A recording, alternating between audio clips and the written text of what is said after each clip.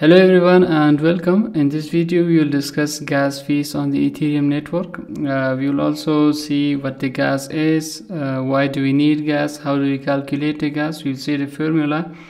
Uh, we will also interact with a few smart contracts on the Ethereum network and we will see how the gas is calculated and we will match that with our formula. So let's dive in. Uh, what is the gas itself? Gas is one of the most important and fundamental aspects of understanding the Ethereum network. Uh, the same way that a car needs gasoline to run, the Ethereum network uh, needs uh, the gas to operate. I mean, this is uh, this acts like a fuel uh, to the Ethereum network. let's continue. what the gas is, just the same way that the seconds or unit of time and meters or unit of distance, the gas by itself is a unit of computation on the Ethereum network. This explanation is taken from the learnweb3.io. If you if you guys want to uh, study it in more details, you can uh, go over there. Uh, so the gas unit is used to measure the amount of computational effort required to execute a transaction on Ethereum. Uh, so basically uh, if somebody wants to execute a transaction on the ethereum network they need to spend uh, some amount of gas they need to pay for that. And uh, since each transaction requires some computation resources to execute it requires a fee commonly called gas fees or transaction fees. These words are used interchangeably I mean, if someone says gas fee, it's the same as a transaction fee, uh, but usually people use the gas itself. Uh, they don't mean uh, the unit, they mean the gas fee when they are saying gas. So the gas fee uh, is paid in Ethereum's native currency, the Ether or ETH, uh, however you call it. And how gas fee is calculated, it's slightly different. Uh, uh, I mean, it differs uh, uh, before 25, 25th of August 2021, and after that, they call it pre London and post London upgrade. Uh, in this video, we are going to discuss the pre-London upgrade, I mean uh, before 25 August 2021, but the concept is the same. Uh, we will discuss the post-London upgrade in the upcoming video uh, but you will see that it doesn't uh, differ that much but the uh, post London upgrade offers us uh, better uh, gas cost uh, estimations and a few other benefits. So the main thing here is that why do we even need gas? Why do we even need gas to execute our transaction on the blockchain? So the gas fee help help us keep the ethereum network secure. How uh, by requiring a fee for every computation executed on the network. Uh, this way, the bad actors on the uh, prevented uh, as well as uh, the network is i mean the network avoids spamming this way. Let's assume that the transaction fee was not required for executing a transaction on the network. I mean the gas fee was not required. Everyone will send just uh, useless transactions to the network and this will cause too much uh, load on the network and on the blockchain and they will always spam the network. So in order to avoid accidental or malicious infinite loops in smart contracts which would cause all ethereum nodes to forever be stuck gas limits on transactions set a limit on how much computation a transaction can use. So let's see all of this stuff uh, in practice let's head over to the etherscan and explore a few transactions. Uh, let's see this transaction. This is a failed one. Let's pick another one. So uh, let's explore this transaction. If you come to the bottom here you can click on this link and uh, here are a few things. Uh, this transaction has status block timestamp. We don't need this stuff uh, from uh, to you can see that it's a transaction of zero ether. And the amount of gas fee that it is spent is uh, $15.56 uh, this is the gas price the gas limit previously we spoke about the uh, gas limits that every transaction have a gas limit. Why do we uh, even uh, need this gas limit? You will see in a bit. So we said we uh, avoid all of the these infinite loops malicious or accidentals in our smart contracts. This way by specifying a gas limit.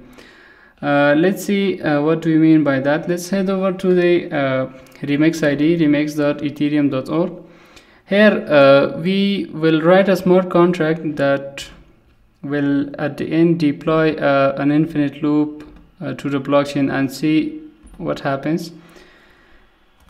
Let's name it something like this. Specify the license. And uh, let's specify the version pragma solidity uh, let's specify the 0.8.10 I don't know what the latest is in here. 0.8.17 let's take the 17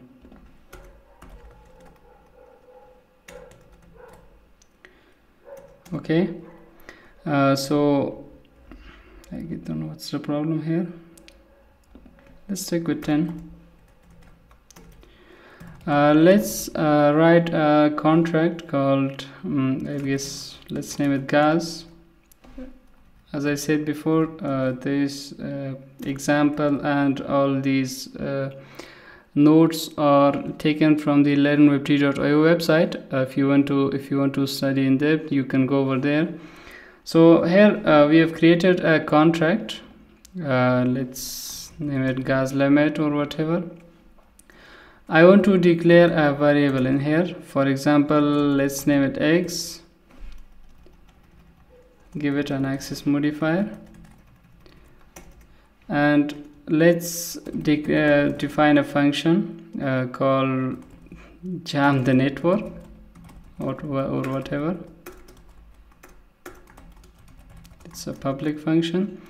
And let's write a while loop in here that will take our x and every time uh, that the uh, loop iterates over it uh, we will increase it by one. Okay?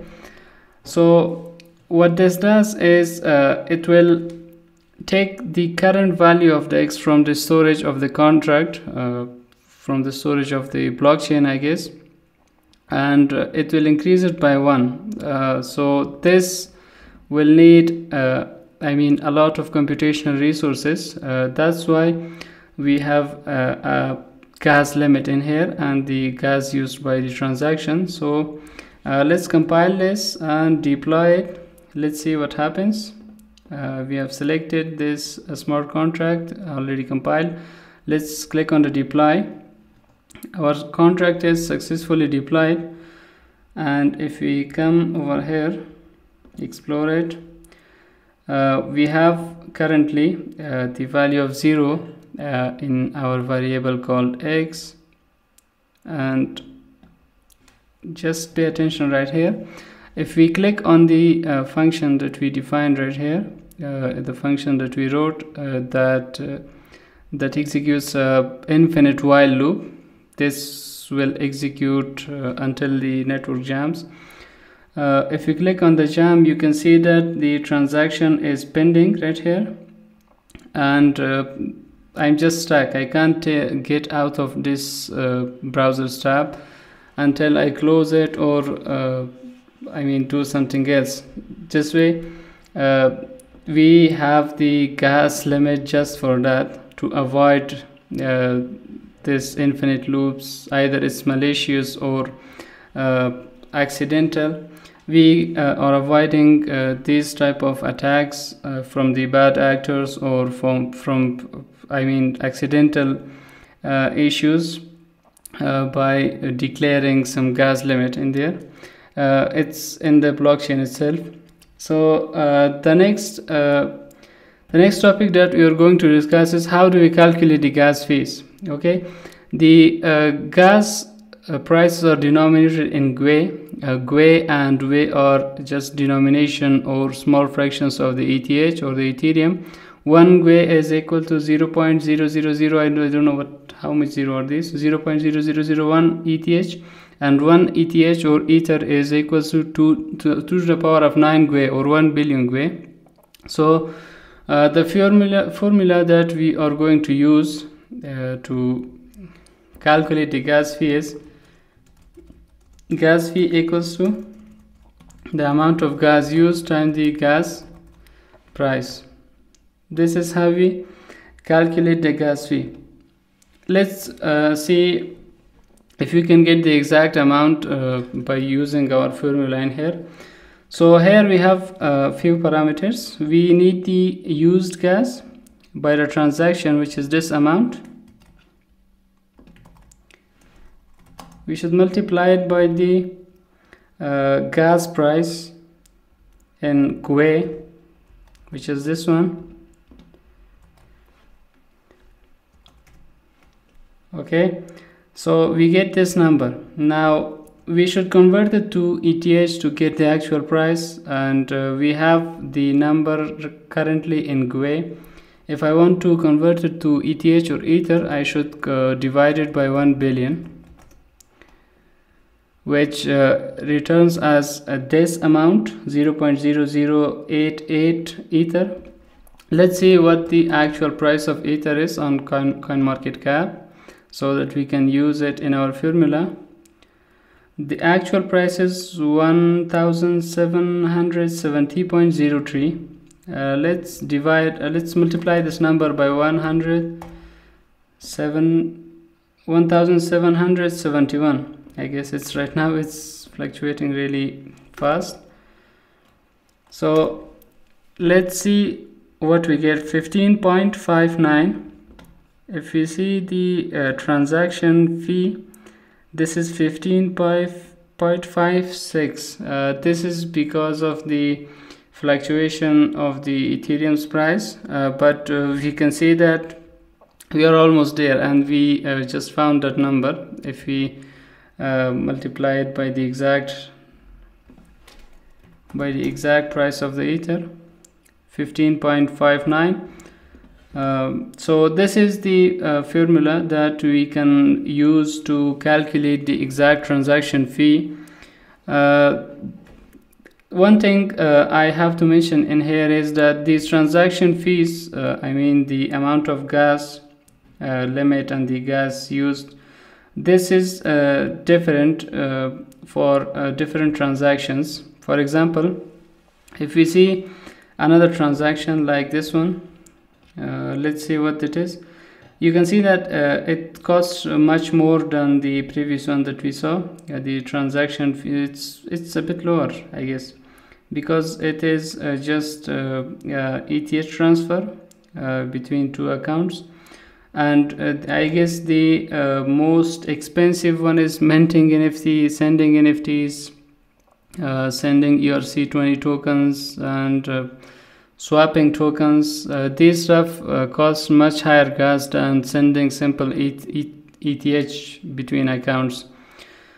So that's it for this video. I'll see you guys in the next one. Have a good day.